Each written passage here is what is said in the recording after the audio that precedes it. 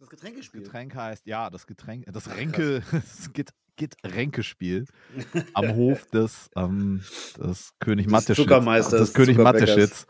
Ähm, also, nee, ich habe nee, ich hab da was, das heißt Reagan, wie, also tatsächlich auch wie Herrschaft. R-E-I-G-N. Ah, ja, Rain, ja, Rain, ja, ja. Ähm, Bring down the rain. Und ja. das ist zuckerfrei, haufenweise Koffein, B-Vitamine, äh, L-Arginin. Aha. So, so over-the-counter Dickpills für den vitalen und aktiven Mann. Das ist immer so, hast du so, so ah. Sky Dumont Dudes auf der Packung. Ähm, das war ganz gut okay. für, für einen, angeblich ganz gut für einen Muskelpump beim Workout. Aber von mir ah, hat es okay. nicht. Und äh, es schmeckt wie It von Schleck. Das ist äh, okay. Das ja, ist, nein, das ist, das ist wirklich, es ist wirklich okay. Also ich meine, what it does, it gives you the runs, aber apropos, ja, ja, wir, wir runnen jetzt hier auch mal durch. Oh ja. Labern Sie mich nicht mit Goethe an, sondern folgen Sie mir ins Klassenzimmer. Geschichte. Ungenügend. Eine Produktion von sofakusch.de. Ein heiterer Geschichtspodcast. Mit Abel Xavier Unsinn und Janni Imhof.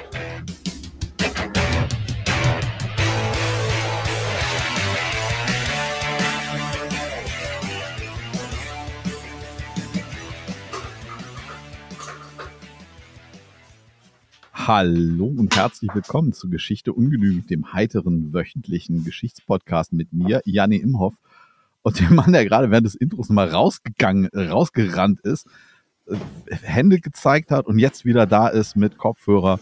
Ist ja noch was zu trinken geholt? Fast. Ich wollte doch mal testen, wie gut ich darin bin, rechtzeitig wieder hier am Platz zu sein.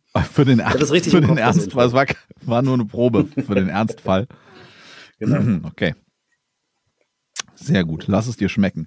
Ähm, wie geht's sonst? Bisschen fertig, sagtest du? Ja, ein äh, langer Tag an der frischen Luft ähm, mit unerfreulichen kleinen Sportergebnissen und jetzt bin ich aber nach einer langen Hatz durch die Stadt endlich zu was zu essen gekommen und jetzt bin ich fit, um mir hier Geschichten anzuhören, die du aus der Tiefe der Geschichte hervorgekramt hast. Ja, hervorragend, denn was wir machen, ist ein ganz klassischer Geschichtspodcast, bei dem ich jede Woche Abel und euch eine bemerkenswerte Episode aus der Weltgeschichte erzähle Abel ist jeweils unvorbereitet, muss aber heute, heute darfst du auch nur anderthalb Sätze den historischen Kontext machen, sonst müssen es immer drei sein. Und damit er es nicht ganz so leicht hat, führe ich ihn manchmal auf die falsche Fährte mit einem ganz anderen Thema. Und zum Ende unserer Folgen sprechen wir ganz nochmal über die popkulturelle Verarbeitung des Themas. Und äh, ja, wenn euch der Podcast gefällt, dann schreibt uns doch über unsere Social Medias. Ja, die gibt's noch. Und zwar gibt es die unter den Adressen äh, Geschichte ungenuegend at gmail.com. Und das Ü wird zum U bei dem Twitter-Händel ungenugend. Also beim Twitter an ungenugend schreiben, dann erreicht ihr uns da auch. Ja, müssen wir auch langsam mal zusperren. Ähm, genau. Und ansonsten sind haben wir, wir noch. wir oder er. Geil. Ja, gute Idee. Äh, guter Gedanke. Ähm, ich leg auf, nee, ich leg auf. Du legst. Ähm, so, jetzt bin ich aber auch schon raus, weil hier steht nämlich gerade schon was, was ich über Koffeingetränke. Genau, wenn ihr uns noch Koffeingetränke spendieren wollt, wie das, was ich äh, hier wieder ohne Bezahlung beworben habe vor dem Intro, dann haben wir da noch einen Link zu ähm, buymeacoffee.com vorerst noch. Und wir haben ebenfalls noch da Links zu unseren, äh, wie heißt das denn, zu unseren Playlists, genau, wo wir die Songs, ja. die wir äh, verweisen aus der Popkultur oder irgendwelche Videos, Filmtrailer etc., packen wir da auch nach unserem Gutdünken mal rein. Und ähm, ja, dann einfach gleich heute rein in unseren bunten Reigen heute. Oh ja. Und wir steigen ein mit Ozzy Osbourne, Tony Iommi, oh. Giza ja. Butler und Bill Ward. Und ich sehe schon jemanden lächeln. Oh, Gott, muss ich ja doch singen. ich habe das gerade im Stadion gesungen. Ähm, was wurde gegeben? Naja, ich muss ja sagen, dass ich ja ein, ein, ein Freund eines kleinen lokalen Amateurvereins bin und dort haben sich die Jungs ja ausgedacht, Jungs größtenteils und Mädels, zu Iron Man ihren eigenen Verein zu besingen. Das fand ich sehr schön, weil ich das noch nicht von einem anderen Verein gehört habe. Ach, schön. Mein großer Sohn, der hat auch immer gerne Iron Man gesungen oder zumindest das Riff so dö, dö, dö, dö, dö, gesummt. Genau. Ja.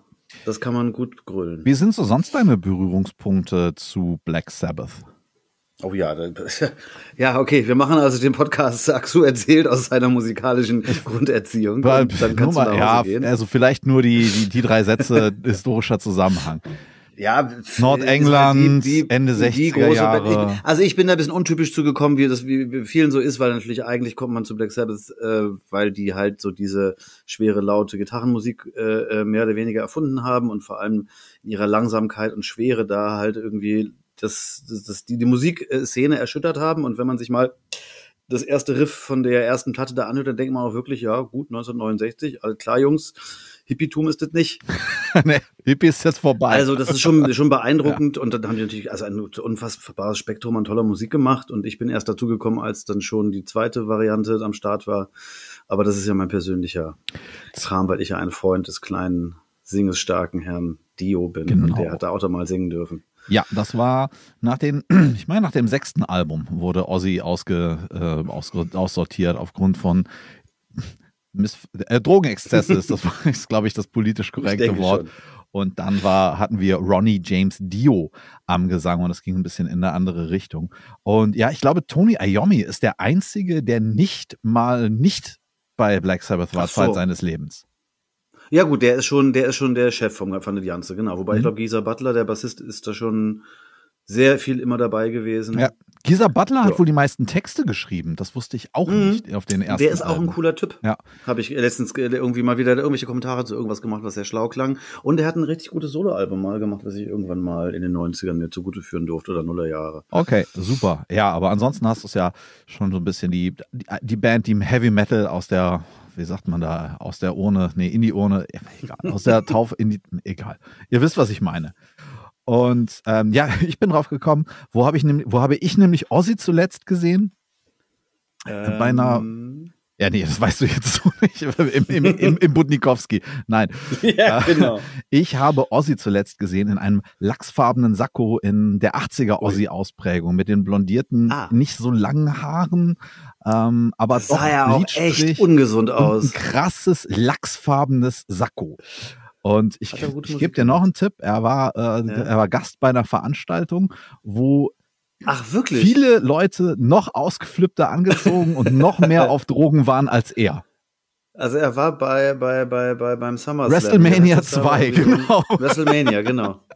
Da habe ich ihn nämlich. Ach so, da war der, da war der als Entertainment-Gast oder als Zuschauer? Der war da als, ja, so eine Mischung aus, der hat zusammen mit Captain Lou Albano, den viele vielleicht noch kennen als den Mario aus der 80er Jahre Super Mario Super Show von RTL. 80er Jahre? Ja. Gibt's, da gibt es eine Verfilmung der Super Mario Brothers. Das ist halb Cartoon, halb Realfilm. Mhm. Und Captain Lou Albano, ein Wrestler aus den 60er, 70er Jahren, spielt da den. Oh, jetzt riecht es hier nach Popcorn in der Wohnung. Geil. Hoffentlich kriege ich oh. gleich welches vorbeigebracht. Und hoffentlich geht der Rauchmelder nicht gleich los. Ja, der war zusammen mit Captain Lou Albano die Ringbegleitung für die British Bulldogs. Das waren zwei. Davy Boy Smith und Dynamite Kid. Ja. ja. Später war dann Dynamite Kid, der hat dann woanders gewrestelt, der ist, glaube ich, nach Japan gegangen. Und Davy Boy Smith war dann der, der einzige British Bulldog. Die beiden. Okay, da war Ossi so in der Corner, weil er seinen britischen Landsmann unterstützen die, wollte. Genau, und dieses, wenn du Sollte. dir mal Interviews mit Davy Boy Smith und Dynamite Kid äh, anguckst, die kommen aus Lancashire, Goldburn, Lancashire, und die reden noch schlimmeres Englisch als Ozzy Osbourne. und auch ja, das will was heißen. redet gar nicht so schlecht, der nuschelt halt bloß so krass. Ja, der, aber sie hatte schon auch Sprachfehler und er hatte das, das Singen hat ihm ja wohl über seine Sprachfehler hinweg geholfen. Ah. Ja. Gut, also wir haben da, glaube ich, unterschiedliche Zugänge zu Black Sabbath. Ich bin irgendwann oh ja. dann wirklich mal, aber auch relativ alt, über in, in den Doom Metal eingestiegen, weil ich komme vom, ich komme vom Thrash, so Metallica und so weiter. Und habe so dieses Langsame erst auch, auch gar nicht verstanden. Ja, das ging mir auch so am Anfang. Und ähm, ja, aber die ersten vier Black Sabbath-Alben finde ich großartig. Ich hatte auch ein T-Shirt mit der Aufschrift, habe ich dann erst später herausgefunden, das war ein Zitat. Da stand drauf, die ersten vier Black Sabbath-Alben finde ich großartig. You can only trust yourself and the first four ja. Black Sabbath-Albums. Ist, glaube ich, ein Zitat von Henry Rollins. Wenn ihr es wisst, ähm, sagt Bescheid. Würde passen. Ja. ja. Okay, haben wir es erstmal etabliert ähm, Black Sabbath. Kommen wir vielleicht später nochmal drauf zurück. Machen wir erstmal, wir am Geldautomaten machen erstmal Pin rein. Und wir begeben uns ich, Zeitreise soll man ja nicht. Wir gehen auf eine Zeitreise. Wir gehen äh, an, zurück an den zweitliebsten, an die zweitliebste Zeit von Geschichte ungenügend, nämlich ins Jahr 1492. oh ja. Sonst sind wir, also entweder Imperialismus oder hier proper Zeitenwende-Stuff. Genau, wir wissen ja zu der Zeit, es hat bei den Leuten geklingelt und es war frühe Neuzeit. Das Mittelalter war vorbei. ja Und genau. äh, um die Zeit rum hatten die Leute so alle so ein gewisses Doom and Gloom und Weltuntergang und das Ende aller Tage, das war da irgendwie, schien den Leuten besonders nahe dran. Und wenn ich sage ähm, 1492, an welches wichtige Ereignis denkst du dann? Oder wollen wir, wollen wir gleichzeitig sagen, an welches Ereignis Ist das du denkst? dieser Song von Vangelis? Genau, da ist er rausgekommen, ne? ja, genau. Nein, 1492. Wir sagen es gleichzeitig auf drei. Eins, zwei, drei. Der Meteorit von Ensisheim. Columbus? Ah. Okay, na, Kolumbus war auch. Aber wir reden über den Meteoriten von Ensinsheim. Hast du über den schon mal, Okay. hast du von dem schon mal was gehört? Hm, Nee, aber äh, sowas interessiert mich eigentlich sehr. Ich glaube nicht. Okay, dann ähm, stimmt, du war, warst ja auch so aktiv dabei in unseren Folgen über Brahe. Der wurde, der kam irgendwo auch mal am Rande vor hier in der Geschichte, aber ich habe ihn jetzt nicht im Skript. Und zwar zwischen ähm, dieses Ensinsheim liegt zwischen Mühlhausen und ich benutze die deutschen Begriffe, weniger aus Revanchismus, sondern aus Aussprachegründen. zwischen Mühlhausen und Colmar an der ähm, auf der französischen Seite, äh, südlich von Straßburg. Ähm, ich meine, das ist auch noch das Elsass oder vielleicht schon die Vogesen. Es ist jedenfalls westlich des Rheins. Östlich des Rheins, äh, da ist nicht viel, kommt dann irgendwann der Schwarzwald und vorher ist dann noch die Firma Pearl. Kennen viele noch so als Gadget-Versand. Egal. 1492, ein kleiner Junge ähm, steht auf dem Feld und guckt und sieht einen Feuerschweif am Himmel und das Ding knallt bei ihm in der Nähe in ein Weizenfeld rein. Hm. Vielleicht sollte man dazu sagen, die vorherigen Ernten auf genau diesem Weizenfeld und allen anderen Weizenfeldern da und auch allen anderen Feldern, wo alles andere ange äh, angebaut wurde, die waren nicht besonders gut. Mhm. Und da knallt dieser Meteorit in dieses Weizenfeld. Und der Anwalt, ähm, also er ist zumindest studierter Jurist, über den sage ich auch gleich noch mehr was, Sebastian Brandt, der reimt über dieses Ereignis folgendes. Da man zahlt 1400 Jahr, auf St. Florenzen Tag ist wahr, 90 und 2 um Mittentag, geschah ein grausam Donnerschlag. Drei Zentner schwer fiel dieser Stein, hier in dem Feld von Ensinsheim. Okay. Von diesen drei Zentnern kann man. Aber drei Zentner, Moment mal, drei Zentner sind 150 Kilogramm. Ist das richtig? Das ist richtig. Von diesen drei Zentnern sind heute, nachdem sich da wohl einige Souvenirjäger wohl auch dran bedient haben, sind heute noch 127 Kilo übrig. Und wir. Ich wollte bloß gerade Ja. meine, meine, meine, meine, meine, meine so halbgar, viertelgaren ähm, Astronomiekenntnisse, wenn da so ein 150 Kilo Geschoss einschlägt, ist doch vom Feld nicht mehr viel übrig, oder? Der Krater war wohl nur einen Meter tief. Aha. Hatte aber dann. doch Aliens, die das aus dem, aus dem UFO abgeworfen Ich haben. glaube, man kann sich das nicht so vorstellen wie, okay, was ich, Thors Hammer aus dem Marvel-Film habe ich da jetzt nur noch als hochintellektueller Mensch als, als Parallele. Ja, ich weiß nicht, es ist nicht, das es ist jetzt, war jetzt nicht irgendwie der hier, alle Dinosaurier sind dann ausgestorben, 1492 Meteorit. Es war 6000, es war 1491 hat man ja noch 6000 Jahre gehört. vorher, soweit ich weiß. ja, genau. Habe ich auf so Ich dachte, Kolumbus wäre wegen der, wäre aufgebrochen, um ein neues Land zu suchen, weil die T-Rexes weil, äh, weil die Königin neue haben. Dinosaurier brauchte ge- gegen die Ja, muslimischen. ja, genau. Was was was? Nein, nein, nein, komm, jetzt mehr ernsthaft. Wir machen hier äh, Geschichtspodcast. So. Und das, das reimte dann halt der Herr Brandt. Und ähm, Mhm. den kennen wir aber eher als einen der Mitbegründer des deutschen Humanismus. Und sein bekanntestes Werk dürfte die Moralsatire Das Narrenschiff sein. So ein mittelalterlicher Text. Ja, das habe ich Narrenschiff hat man mal gehört. Mal gehört. Ja. ja. Ähm, ich habe es jetzt auch nicht komplett durchgelesen, sogar gar nicht komplett durchgelesen. Und was er da macht, ist, da äh, arbeitet er sich in 112 Kapiteln an der moralischen Verkommenheit seiner ZeitgenossInnen ab. Und der, äh, sogar der Klerus bekommt da sein Fett weg. Also so ein klassisches, äh, früher war alles besser und da war die Moral noch in Ordnung und jetzt geht alles den Bach runter. Ja, what's the matter with the kids today? Ja. Ja, genau. Und ja, wenn so jemand einen Stein vom Himmel fallen sieht, wie interpretiert er das wohl? Endlich legt Gott mal los, hier aufzuräumen mit dem Mist und er erinnert uns daran, dass wir uns wieder an die guten alten Werte erinnern sollen. Genau. Und Schuld ist die Sünde. Ja, und klar. also generell, es ist, es ist halt die, es ist die Sünde und die, jetzt kommt hier Gottes Strafe. Nicht nur ähm, die, äh, die ähm, sozusagen die ganz realweltliche Expansion des Osmanischen Reiches im, in Süd, auch in Südosteuropa, Mhm. ähm, haben wir da, sondern nein, auch direkt, jetzt fallen auch Steine vom Himmel und das kommt alles, das ist alles eine Strafe Gottes. Ja, der Krieg, die, äh, die Osmanen und alles und dass jetzt die Missernten auch und dass die Steine da vom Himmel fallen, das kommt alles von euch blöden Sündern. Ja. Und ähm, die schlimmsten Sünder hatten Brand und andere nämlich da ausgemacht, sozusagen an der Quelle. Ja, der Anruf kommt aus dem Haus. Die schlimmsten Sünder, das ist der verkommene Klerus selber.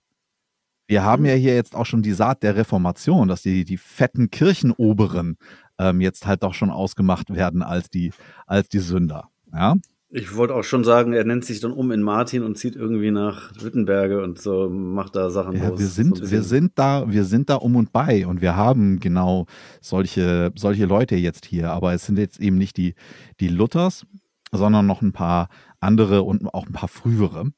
Und Mhm. ähm, ja, also Brand ist halt der Meinung, ja, alles Sünder, besonders der Klerus und alle immer geil. Und apropos geil, wir lassen Brandt und seinen Me- Meteoritenzettel jetzt mal seitlich liegen und sprechen über einen anderen Humanisten aus Straßburg. Der wurde später bekannt auch als die, oder zu der Zeit schon bekannt, als die Trompete von Straßburg. ähm, so ein einfacher Prediger, nämlich Johann Geiler von Kaiserberg. Noch nie gehört. Das ist ein einfacher Prediger, schreibt, glaube ich, auch nichts, was die Jahrhunderte überdauert. Aber er, wenn der von der Kanzel ledert, dann hören die Leute zu. Beim Wrestling würde man sagen, he puts the asses in seats. Na, die Leute finden Ja. das halt, ja, super. Und die Leute hören ihm halt wirklich gerne zu, weil er eben mit dem Klerus nicht besonders sanft umgeht. Raffsüchtig, versoffen, immer sexy time, Gott verleugnen und dann selber Maßhalten predigen. Ja, wie kommt er auf sowas? Dass der Klerus vielleicht gar nicht so fromm und bescheiden ist. Weil weil das doch so organisiert ist, hätte ich jetzt erstmal gedacht, dass die von den, also erstmal ausgehalten wird doch eigentlich zumindest ist das ein, die einfache Priesterschaft, die wird doch ausgehalten von den, von den Leuten im Dorf. Mhm. Die geben halt was ab, damit der da auch irgendwie seinen, seinen Braten kriegt. Ja, Und ich könnte mir das nur so vorstellen, das weiß ich aber nicht genau, dass die natürlich dann auch mal irgendwie einen größeren Bischof sehen und der hat dann da irgendwie seine teuren Ornate. Dann sind die Kirchen so golden und da Mhm. glänzt alles und so ein bisschen die da oben, wir hier unten. Ja. Und da gibt's halt nicht nur die Kaiser und Könige und die Grafen, sondern da gibt's halt auch die Kirchenleute, die Oberen, die ja auch in Saus und Braus aus Sicht der Bauern leben. und die rekrutieren sich ja natürlich dann auch aus dem Adel. ja, genau. So, und da wird halt, ja, hier, guck mal da, was du, was du halt meintest. Die da oben wie hier unten. Klassisches, klassisches Ding. Und, und Geiler macht es aber wirklich ganz transparent. Er sagt, ja, guck mal hier und da und die, die, die machen hier ganze, die ganze Zeit nur die Sau und äh, er bringt die Leute äh, und und bringt die Leute gegen den Klerus auf. Und ähm, Aber er ist selber äh, einfach nur ein, er ist schon ein Geistlicher. er ist auch, ein, er er, einfach ist auch, ein er ist auch ein Geistlicher, aber sozusagen ein kleiner Geistlicher, klein, klein, ein klein, kleiner Geistlicher.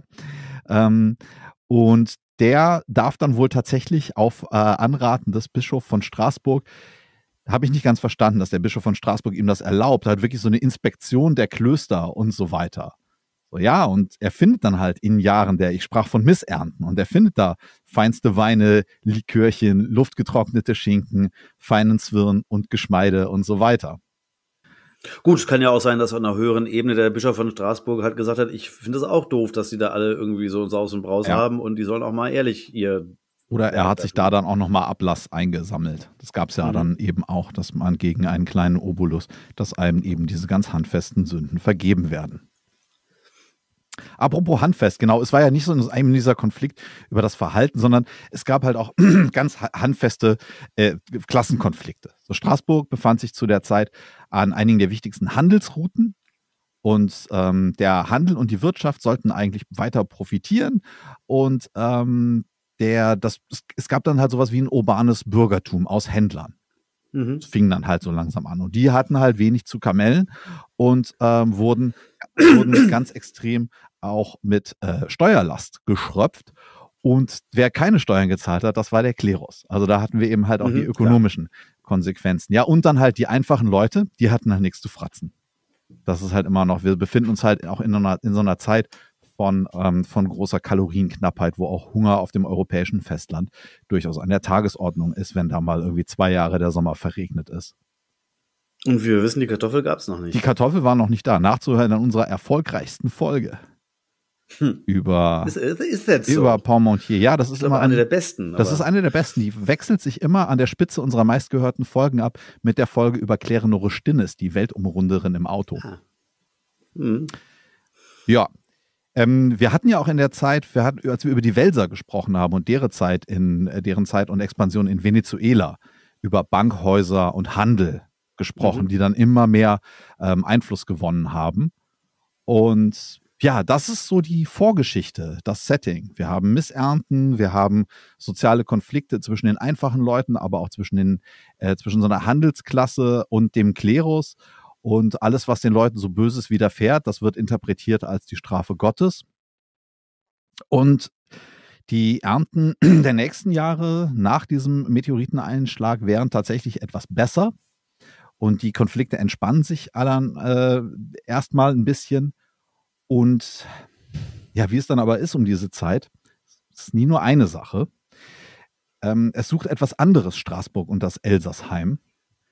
Und ähm, es wird bezeichnet als die bösen Pocken. Ah. Ja, also mit anderen Worten, das muss so schlimm gewesen sein, dass die richtigen Pocken gar nicht mehr die bösen waren. Also, ja. weißt du, was die bösen Pocken sind?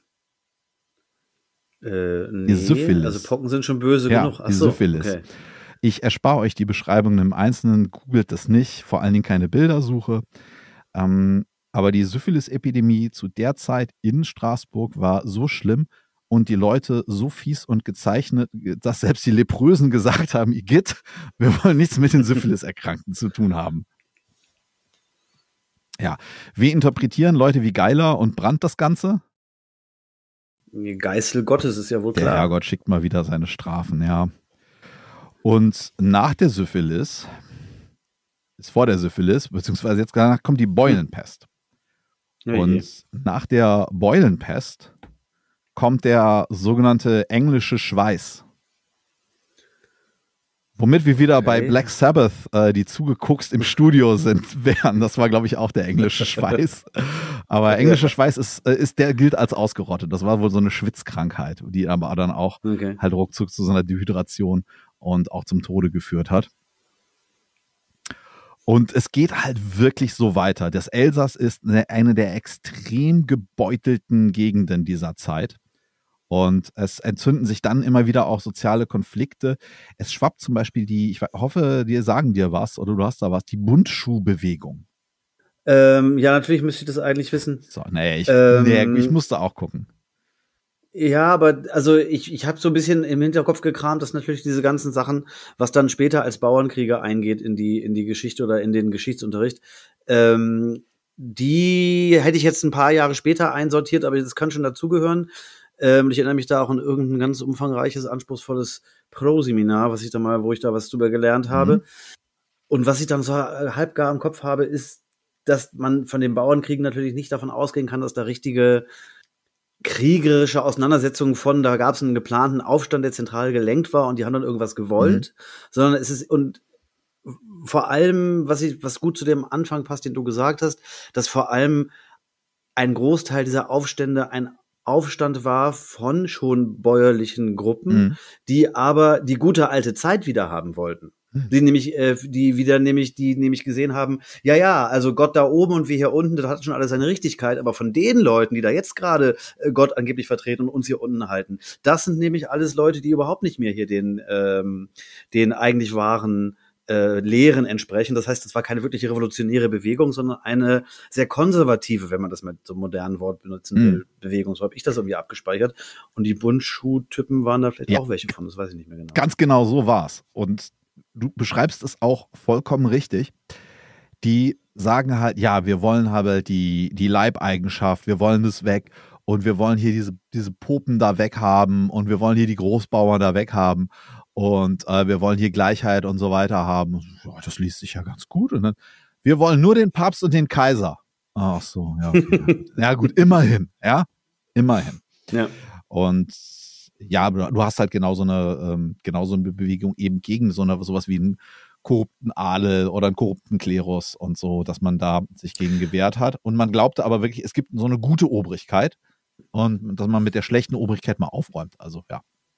Ja, und das passt, also das finde ich ja, das fand ich damals auch ganz äh, interessant, das mal so festzustellen, ähm, diesen Gedanken, ja, ich weiß ja, wie, und es ist ja heutzutage genauso verbreitet, dieser Gedanke, ich weiß ja, wie es früher war. Und irgendwie war es früher auch nicht so geil, aber wir sind ja durchgekommen, es war alles in Ordnung. Aber in, bei dem, was jetzt ist und vor allem bei dem, was kommen wird, was wir noch gar nicht wissen, was da passiert, da haben wir so eine Angst vor, dass wir das gar nicht wollen. Deswegen wollen wir lieber zurück zum Alten, wo wir schon wissen, dass wir da zwar auch irgendwie unter der Knute sind, aber wir haben es ja alle überlebt, also wird es wohl nicht so schlimm gewesen sein. Lass uns mal bei der Angst weitermachen. Ähm, Ja, Die okay. umtreibt die Leute nämlich genau. Und die treibt die nämlich auch, glaube ich, in sowas. Du hast halt handfeste ökonomische, ich sag mal handfest, du hast halt ökonomische, ähm, die ökonomischen Bedrohungen einfach deiner Lebensgrundlage, weil nichts wächst oder es absäuft oder du Pocken kriegst und sich dieses oder jenes entzündet, äh, nebst dem Widerstand, nämlich die Körperstellen. Ja, und auch die, die Predigten von so jemandem wie dem Johann Geiler, das wird immer wilder. Überall gibt es Dämonen und so in den ersten, so um die Jahrzehntswende, so um 1510 rum, da gibt es dann auch zunehmend Berichte davon, dass die Toten wieder aufstehen in Straßburg und Umgebung und überall sind Dämonen und wer zu Hause sein Frühneuzeit-Bingo-Schein äh, hat. Natürlich haben wir da jetzt Aha. auch, äh, sind wir auch im Grenzbereich von sowas wie äh, ja, da, da muss man nochmal andere Schuldige als den Klerus finden. Und andere Schuldige sind natürlich auch als Klassiker schnell ausgemacht. Frauen, Juden, ja, also Hexenverfolgung, antisemitische Pogrome, dürft ihr euch leider ankreuzen. Ja. Und inmitten dieser Jahre voller Missernten und Krankheiten und alles ist gebeutelt und die Aufstände scheitern alle nach und nach. Da beginnt das Jahr 1517. Dies, Ja. Dieses Jahr wird von der Bevölkerung Kommt noch ein Meteorit runter? wird von der Bevölkerung Straßburgs als das schlechte Jahr bezeichnet. okay. Also wir haben eine gewisse Fallhöhe erreicht. Aber ja, nein, und also es muss wohl einfach noch schlimmer gewesen sein und die Leute hatten echt noch weniger zu essen und ähm, ja, also machen wir schnell einen Strich drunter ins Jahr 1518. Auf den Feldern so. im heißen ich dachte, jetzt kommt doch noch mal was mit Luther, weil das, äh, aber Nee. ja. Auf den Feldern verdorrt eine weitere Ernte. Und im Juli 1518 verlässt eine Frau Trophäa, T-R-O-F-F-E-A, Vorname nicht bekannt, ihr Haus und beginnt zu tanzen. Ah. Naja, es gibt auch diese, ich weiß nicht, ob es diese ganzen wild, wilden, wilden Tänze und sie tanzt, und sie tanzt weiter. Ja. Und gemäß der Chroniken aus der Zeit hört Frau Trophäa auch nicht auf zu tanzen. Und erstmal stehen die Leute noch da und wundern sich, was, was tanzt die Frau Trophäa da? Will die ihren Mann irgendwie ver, verutzen oder so? Und nach einiger Zeit gesellen sich noch mehr Leute dazu und die tanzen gemeinsam. Ohne Unterlass. Und wir wissen leider nicht genau, wie der Tanz aussah. Äh, Ein paar Eckdaten sind wohl, dass wohl eher auch gezuckt wurde, es wurde von einem Bein aufs andere gehüpft und es wurde sich gedreht. Und es wird tags getanzt, nachts getanzt bis zur Erschöpfung. Und wenn die dann erstmal umfallen, dann schlafen sie kurz, wachen auf und tanzen weiter. Und das ist nicht ganz klar, aber doch höchstwahrscheinlich, dass ähm, Menschen auch vor Erschöpfung und aus einem allgemeinen äh, Energiemangel, nehme ich an, auch dann am Tanzen gestorben sind. Also es ist also einigermaßen noch umstritten, aber recht wahrscheinlich. Jemand behauptet, es wären so 40 Leute gewesen, andere entschärfen das wieder, war mir auch nicht ganz klar. Aber was definitiv passiert ist, das hören wir jetzt von äh, Medizinhistoriker Mario Basler. Man näher dran, bis ihre Füße geblutet haben. Ja, du Okay? glaubst doch nicht, dass Moment, ich Moment. heiße. Ich bin, doch noch nicht, ich bin noch gar nicht fertig. Lass mich auch ausreden. Verlangst du auch, Rolle? So, jetzt nochmal. Füße geblutet. Genau. Und zwar ähm, immer mehr Schaulustige sind mit dabei. Und dann treffen die Offiziellen der Stadt, glaube ich, was man gemeinhin historisch als eine Fehlentscheidung äh, bezeichnet. Und bringen die ganzen irgendwie auf so einen, in einen Festsaal oder auf einen Festplatz mit einer Bühne und lassen den Leuten äh, Musik spielen mit äh, angeworbenen Musikern. Gott. Ja, die Idee war, ja, die sind da irgendwie aus dem Rhythmus, deren Blut ist überhitzt und wenn wir nur Musik machen, dann kommen die Leute in den Takt und kommen wieder klar. Achso, nicht um das quasi zu überspielen, es gibt ja gar nichts Besonderes zu sehen. Ich dachte jetzt erst, das soll so ein bisschen die Panik der, der, der, der, der, der Bevölkerung irgendwie äh, Das ist ein äh, dämpfen, sehr schöner Take. Das habe ich so nicht gelesen und auch nicht gedacht, dass man so so ja, wir haben gehört, hier ist Tanzwut. Äh, das ist hier ganz schlimm. Nö, nö, das ist hier ganz normales Straßenfest. Das ist, machen wir, das machen wir genau, jedes Jahr. genau. Also, warum blutet die Frau an den Füßen? Ja, das ist wegen der Knallkopf mit den zehn Gläser runtergeschmissen. Ja, ähm, genau. ja. Guter Take, dass man wirklich einfach, ja komm, dann machen wir auch eine Sause draus. Machen wir Bratwurststand. Ja. Achso, nee, gibt ja nichts zu essen. Aber Tanzwut hast du gesagt, das ist nämlich auch mal, ich habe das nach die ganze Zeit nach dem Wort gesucht. Das gab's, also vielleicht kommt das gleich noch, aber das gab's doch in der Geschichte häufiger mal. Oder ich habe auf jeden Fall schon gehört von solchen äh, äh, unfreiwilligen Körperbewegungs- Events, äh, die, die sich, ich weiß gar nicht, wie man das, Das nennt, ist wie man das objektiv beschreiben soll. Unfreiwillige Körperbewegungsevent. Finde ich, finde ich schön. Ja. ähm, kann man vielleicht hier den Clubs hier unter der Sternbrücke mal vielleicht als Veranstaltungstitel ähm, auch mal unterjubeln. Nee, aber äh, jetzt, ich, ich finde das ganz schön beschrieben, weil äh, wie, frei, ist, wie freiwillig, wie unfreiwillig das ist, das wird nämlich alles sehr umstritten und es wird nämlich hier auch nochmal die, ähm, jetzt haben wir im Weiteren. Ja, und so, ich meine, ne? so Mangelernährung und das, was da irgendwie, äh, irgendwie was kaputt geht im Kopf, kann ja auch sein. Ja. Zum Höhepunkt dieses frühneuzeitlichen Raves äh, werden 400 TänzerInnen vermeldet. Und die zeitgenössische Diagnose, die war halt irgendwas mit Besessenheit. Und Strafe Gottes. Ja, aber so richtig so mit Teufel und so? Hm? Also besessen schon, irgendwie der Teufel hat da Hoheit übernommen und lässt die jetzt verrückt Äh, werden. guter Punkt, haben wohl auch Leute gesagt, aber ich, in, in, hier war es nochmal einigermaßen, ähm, so die Lösung war hier einigermaßen harmlos und nicht gewaltsam, sondern die, Besoff Betro die Besoffenen, die Betroffenen wurden hingeführt ähm, zu einer dem heiligen Vitus geweihten Kirche, so ein sizilianischer Märtyrer aus dem dritten Jahrhundert. Ähm, auch bekannt Eine andere als sehr gute Doom-Metal-Band. Eine andere sehr gute und wichtige Doom-Metal-Band. machen wir gleich, ne? Und dass sie dort Ach so. beten und geheilt werden möchten. Und äh, das wurde so, Ah ja. ja, entweder heilt der Vitus, der heilige Vitus sie, oder, ähm, äh, oder der, es, ist, also es ist seine Strafe, aber jedenfalls wird, ist das der Ursprung, dass dadurch, dass sie da zu ihm zu, genau zu diesem Altar dann hingehen oder zu dieser Kirche, die dem heiligen Vitus gewidmet ist, ähm, kommt dann der Saint Vitus Dance. Beziehungsweise im das Deutschen her? der Veitstanz. Ach so, ach, das ist der Der Fight. heilige Alles Vitus klar, ist nämlich der nicht. und auch Logisch. und Guido. Also Guido ist Vitus. Wusste ich auch nicht. Ah, okay. Ähm, ja.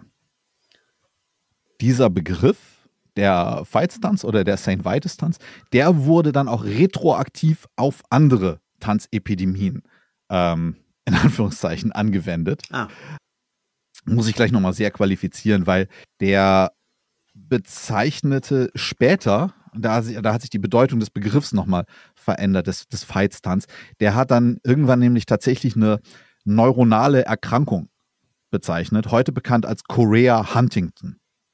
Und das ist tatsächlich eine, Okay. das ist tatsächlich eine nervöse Erkrankung. Ursachen weiß ich jetzt nicht, aber dass du sozusagen halt so Aussetzer der Körpersteuerung ähm, der Körpersteuerung hast. Ganz Und grob. ist das, ist das ausgeschlossen, dass es bei denen auch schon war, weil es halt irgendwie bakteriell ausgelöst worden ist oder was weiß Es ich? ist ja, das sieht auch anders aus. Also so Korea Huntington, so, okay. da hast du tatsächlich also so, so Zuckungen und äh, das ist hier, da haben die Leute, so wie es aussieht, die Leute haben einfach planmäßig auch getanzt, einen Reigen. Ja, Ah, okay.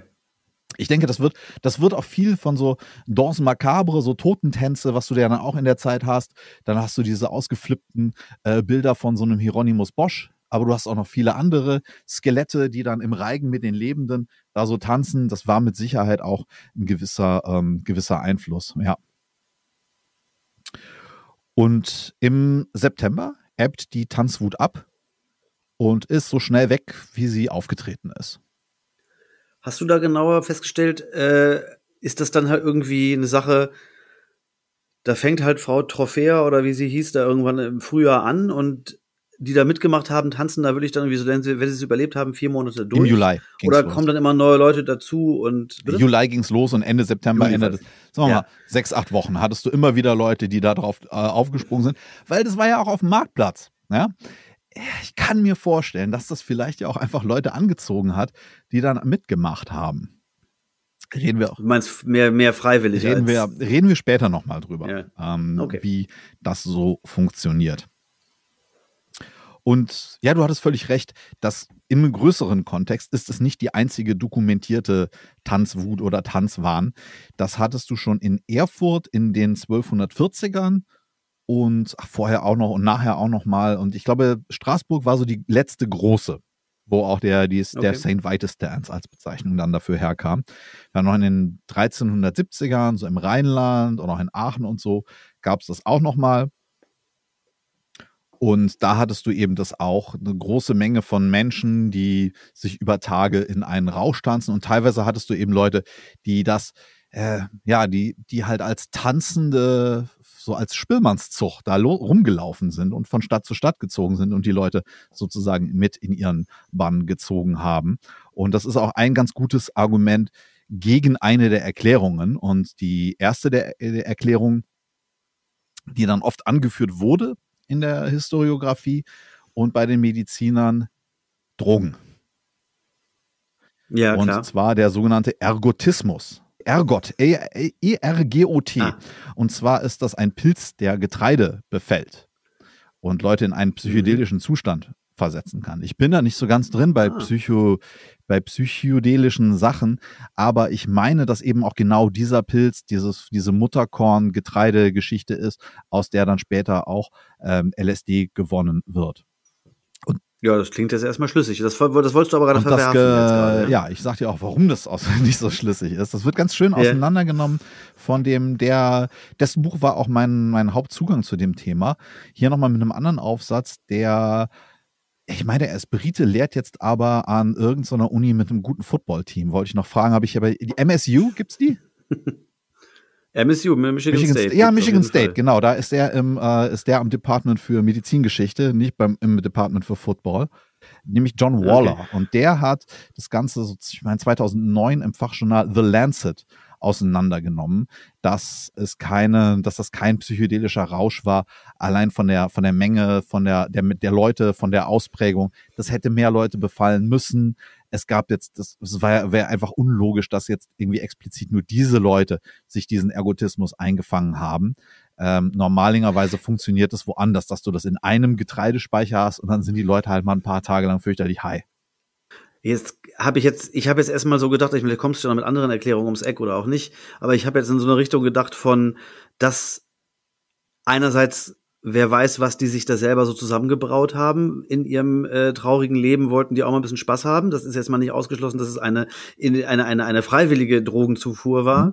Äh, und dann kann es doch vielleicht auch sein, gerade wenn du erzählst, da gibt es so Spielmannzüge, die ziehen von A nach B, dass irgendwann auch Leute sagen, fuck this shit, ich, ich kann nicht Ja. mehr, ich, ich werde jetzt einfach mal bewusst verrückt und tanze jetzt einfach nur noch, weil ich kann das andere nicht mehr Ja. ertragen. Also, was weiß ich, dass sowas kommt. Weil ich, äh, so, und, und dann ist natürlich noch das andere, was, aber das wäre erstmal der erste Punkt. Der andere Punkt, den ich noch im Kopf habe, ist ja der, der, der alte Rattenfänger da, der, der irgendwie auch mit Tanzen und Kinder und Ja. sowas. Ja, Spiel, was, was war denn da? Der hat doch irgendwie Kinder mit seiner Musik bezirzt und sie da irgendwie aus der Stadt geführt. Machen wir oder vielleicht eine Fußnote draus. Ja, aus dem Märchen und dem echten Vorbild vom Rattenfänger von Hameln. Da- Das ist, aber multikausale Erklärungen hat es in der Geschichte ja noch nie gegeben. Also das ist ja, ist ja oft sind ja historische Sachen wegen einer ganz bestimmten Sache passiert. Aber ja, okay. Sagen wir mal, ich, ich lasse mich drauf ein, wir können den, äh, den Ergot oder den, nicht den Herrgott, den Ergot und seine Wirkung Einen guten Rausch sein lassen. vielleicht nicht als einzigen Auslöser und als einzigen Grund hernehmen. Ja, das ich verstehe lass mich aber darauf Ja. ein, dass die Leute vielleicht auch high waren. Mhm. So, und die andere Erklärung, mit der habe ich nämlich allerdings auch meine Bauchschmerzen, das ist die sogenannte, und es wird wirklich immer noch so genannt, die Massenhysterie. Ähm, Mhm. Und das wird hergeleitet, da werden solche Verhaltensweisen hergeleitet auf eine Reaktion auf extreme Stress- und Belastungssituationen, dass du sozusagen einfach, okay, bis hierhin, wie sagtest du so schön, fuck this shit, Genau, das habe ich, glaube ich, ja, gemeint. und jetzt ist, jetzt ist es auch mal gut. Haben ja einzelne, einzelne Personen dauernd, ja, dieser oder jener Breakdown. Und da passiert es aber halt sozusagen einer Masse an Menschen, die dann alle das Gleiche tun. Und dann gibt es immer noch mal so ein paar Beispiele, wie eine Lachepidemie in Tansania aus den 1960ern oder als Robbie Williams Take That verlassen hat.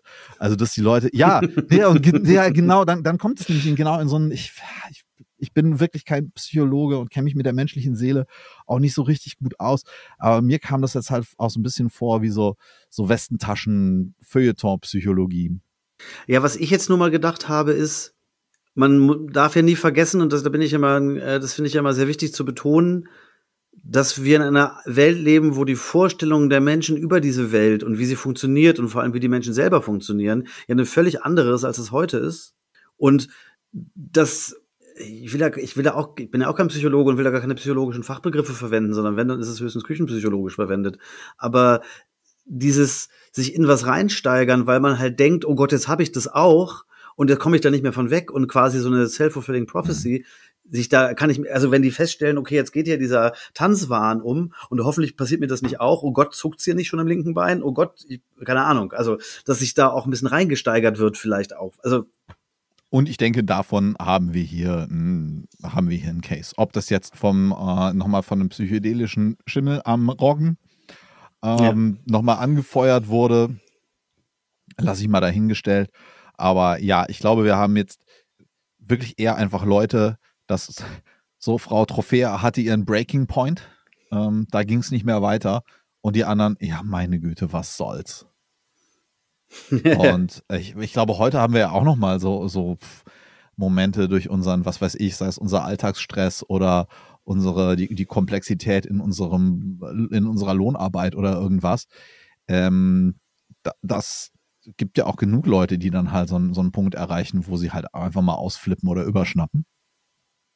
Ja, aber das meine ich ja, dass das eben immer in der jeweiligen Zeit unterschiedliche Ausdrucksformen dann Ja. findet, äh, wie ein Zusammenbrechen an den Bedingungen, die man selber nicht mehr erträgt, dann Ja. aussieht. Aber du hast, hast jetzt nicht irgendwie eine Erklärung von wegen, aber jetzt kommt Heini Meier von der Universität so und so und der hat herausgefunden, das ist wahrscheinlich aber das gewesen. Nee, wir, wir- bleiben bei der Massenpsychologie. Ein paar sagen noch, ja, äh, da gab es da gab's noch einen Take, den habe ich aber auch nicht so so hundertprozentig nachvollziehen können, so dass das ja, da ging es nochmal auf so eine religiöse Ebene, dass da irgendwie so, es gibt den sozusagen den, den, den Akzept, den durch Re Obrigkeit und Religion akzeptierten Tanz und dann gibt es aber sozusagen den heidnischen Tanz, das Wilde und dass man sich da auch in so, einer, so einem Widerstand vielleicht zum Klerus bewegt, also Mhm. sprichwörtlich bewegt hat, aber das, ja, weiß ich nicht. Das sah halt schon eher so ungeplant aus und dieses random Auftauchen an allen möglichen Orten ähm, spricht für mich nicht eher so dafür. Für mich wirklich so ein klassisches, ja, Leute, an die Schnauze voll. Ja, ja, verstehe. Mhm. So, ja. Ähm, wie gesagt, der, das heißt dann heute Tanzwut. Es gibt noch eine Band, die Tanzwut heißen, glaube ich, oder bestimmt auch Lieder, die Tanzwut heißen. Und ähm, weißt du denn noch was zu, zu diesen, so irgendwo in der Popkultur ist dir diese Tanz, weil du kanntest es ja anscheinend irgendwoher. Ja, aber das ist, glaube ich, mir immer nur einfach in irgendwelchen äh, Ausstellungen oder be begegnet das dann oder irgendwelchen, gerade was du von Bildern gesagt hast, äh, gerade ob es nun der Bosch ist oder wie diese ganzen Holländer da hießen und die da irgendwie so diese Alltagsbilder, Wimmelbilder da quasi aus dem Spätmittelalter äh, gemalt haben. Ähm, ich glaube, in dem Zusammenhang habe ich Ja. das häufiger mal gehört. Äh, gut. Ja. Ähm, und sonst, du sagtest ja schon noch eine wichtige Doom-Band, nämlich Saint Vitus. Ähm, Mm, was, das, was an denen ja so besonders ist, dass die ja wirklich dieses, die ersten vier Black Sabbath-Alben einfach 15 Jahre später nochmal gemacht haben. Unter anderem gibt es ja auch ihren schönen Hit Born Too Late. Ja, das, da bin ich gar nicht so ganz textsicher. Ich habe bloß dem, der, der, gute Mann hat also eine ganz wundervolle Akustikvarianten drauf. Der, der ist so ein bisschen, das ist so der, der, dessen Chef von der Band ist so ein bisschen so Lemmy-Typ. Wino, ist sein Spitzname, oder? Ja. Wino, genau. Genau, Genau, da gibt es ja. diese, die machen auch Genau, so der- Krach-Doom. Ich meine auch, die waren auf diesem Plattenlabel SST Records, was Greg Ginn von Black Flag gegründet hat. Und ähm, ja, Gut möglich. Da gibt's viel, viel Gutes. Äh, ähm, äh, wir können uns gerne auch nochmal drei Stunden über Doom Metal unterhalten, aber ähm, ich glaube, das ist ja, wie bei Musik das auch häufiger ist, es wird halt immer wieder äh, gemacht, weil es mal gut war. Und da gibt's auch heutzutage immer noch interessante Sa Sachen, die so ähnlich klingen, aber jetzt auch nicht groß anders klingen als 1982. ja, also 1982. gerade hier mit, oh, hier, wie, wie heißen sie aus England auch noch, Electric Wizard und so.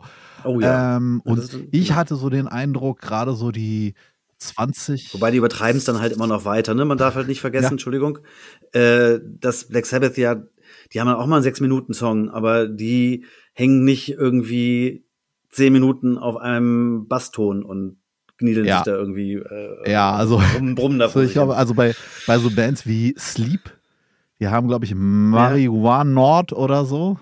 Ähm, ist deren so an, an Super Nord von Black Sabbath angelehnt. Ist auch so Ja. 21 Minuten. so schöne viele. Also, Ja, genau. Packen wir in die Playlist.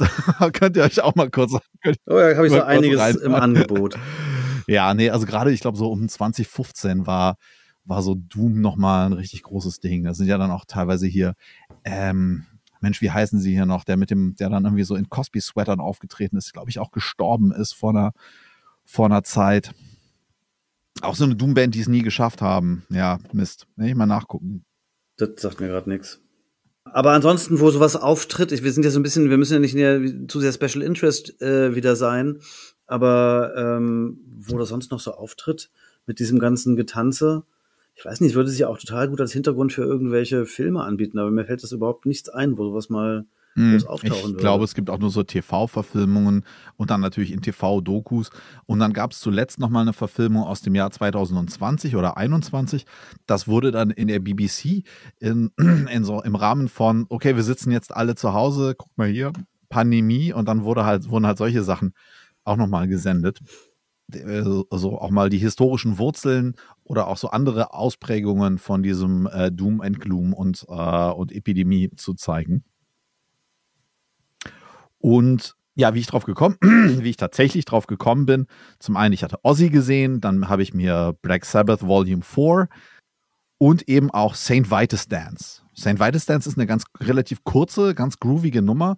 Da geht es aber jetzt gar nicht irgendwie um den Feitstanz oder eine Tanzepidemie, sondern irgendwie um, das klingt so wie so eine Verarbeitung von einer gescheiterten Beziehung. Weiß nicht, was sich der Okay. Gieser Butler da gedacht den was sich der Gieser cool. Butler da gedacht hat. Ja. Und so kam ich dann, ja, was ist denn der Feitstanz? Ja, irgendwie Leute, die so rumzucken. Und dann ähm, kam ich aber dann ganz schnell auf Ah, die ja. Tanzepidemie. Und das war hier die letzte, nämlich 1518. Ach so, also das war das so, war es eigentlich ein Mittelalterding. Das ist ja ganz spannend, weil ich dachte, das gäbe es dann später auch noch, aber das habe ich halt nie richtig. Also du hast immer Ja. wieder so dieses, weil dieser Begriff, glaube ich, auch extrem dehnbar ist, der, der Massenhysterie. Also generell Mhm, ist der mhm. Begriff der Hysterie ja auch unheimlich äh, dehnbar und gedehnt worden. So irgendwie, oh, ist ja Leute, Leute haben Bock auf Sex, irgendwie. Hysterie. Leute haben keinen Bock auf Sex, Hysterie. Ja, ja, wollte ich gerade sagen. Ja, Leute haben normal Bock, ist ja Hysterie. Kampfbe Ja. Ja, klar, weil du dann, dann musst du dich ja nicht, wenn du Sache, Sachen zur Krankheit erzählst, musst du dich ja nicht mehr mit den, fünf- mit den Gründen dahinter auseinandersetzen. Ja. Gut. Das war der kleine Ausflug in die, ähm, in die Frühneuzeit mal wieder an die Epochenwende, als die Leute die Nase voll hatten und einfach, ja, ja. Genau, ja, wenn es euch gefallen hat, hört ihr auch nächste Woche wieder rein. Da haben wir eine kürzere Folge, die nennen wir immer Fußnoten. Da machen wir auch immer noch mal ein bisschen Leserpost. Wir haben auch gestern ganz tolle Leserpost. Das muss ich erstmal sacken lassen. Dann trage ich das nächste Woche Oh noch mal ja. vor. Wenn ihr noch was habt, sagt uns Bescheid. Wenn ihr Themenideen habt, schreibt uns an. Und ansonsten bleibt uns gewogen und wir hören uns nächste Woche wieder. Bis dahin. Wiedersehen. Tschüss.